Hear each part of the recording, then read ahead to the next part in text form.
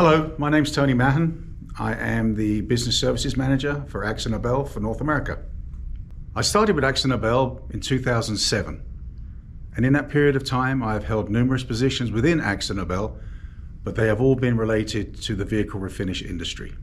I started as a, a young lad as a panel beater and painter back in the United Kingdom 43 years ago and have since held numerous positions within the industry, but have always been in the collision industry for that entire 43 years. I enjoy the ability to be creative. I enjoy the ability to approach challenges from different angles, utilizing and calling on my team of 17 highly skilled, highly focused individuals that stay engaged at many levels throughout our industry.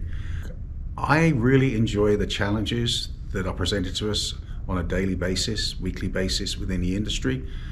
But more so, I enjoy leading that team that I referred to earlier on. It truly is a pleasure to work with people that really seek out and want to make a difference in this industry. This has been a great industry for me, and I want to give back and make sure that we leave it better than we found it. In my personal life, I enjoy boating, I enjoy spending time at the lake, and I like to be outdoors whenever possible.